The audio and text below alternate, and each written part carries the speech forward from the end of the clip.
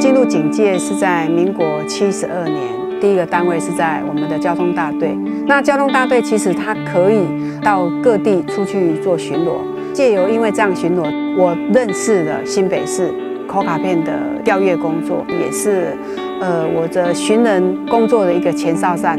因为在这段期间阅人无数，这些的经历嘞，在寻找失踪人口的时候，它变成是我最佳的一个后盾。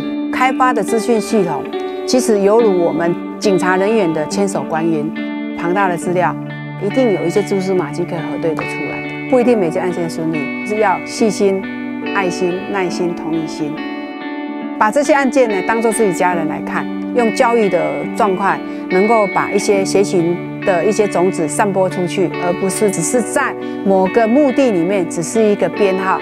这些教育传承，这些种子。散发到各地之后，它能够萌芽。这些奖项只是鼓励跟肯定啊，这些可能就是我一辈子的回忆。它不是一个终点，它应该是能够诱发更多的同仁能够找到一句一句的，让华研究所两千八百多句的个案能够一一的回到他们温暖的家。像我最近也有民众就跑来，不管怎样，我就是要找到我爸爸。虽然我知道他已经十几年就是不见了，但是我还是希望。他能够回家，我能够把他的骨骸让他入我们家的宗祠，让他我们如果拜拜的时候，我们都可以去祭拜他。所以这是大家的心愿。在这样子的服务民众状况之下，我会觉得说，我工作的状态像蚂蚁，但是我的心情像蝴蝶，因为我觉得很快乐，因为我觉得我帮助他们，让他们可以该团圆的还团圆，让他们该落叶归根的可以落叶归根。最先住的是永和。那这个地方就是非常的有人文气质。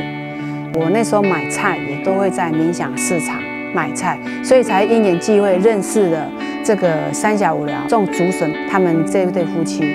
那他的很多菜都是从山上来的，所以我就爱上他们的菜。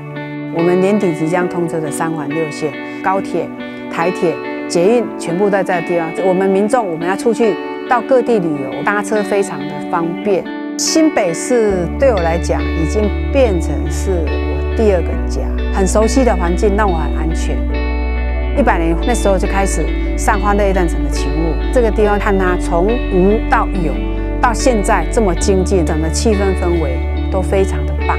最大支撑的力量应该来自我的家人，让我没有后顾之忧。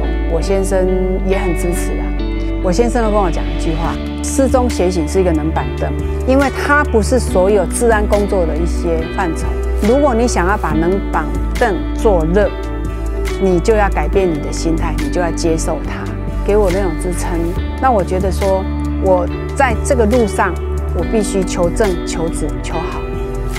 女性比较细心啊，各方面哈，在看待事情，可能就是她本身那种敏感度吧。我会一个是女儿的心态。是一个母亲的心态，这个孩子不见了，妈妈心理层面那个感受，在比较柔性的一环，这些力量帮助民众服务他们，让他们能够尽速回到家中的。New Taipei Woman Power。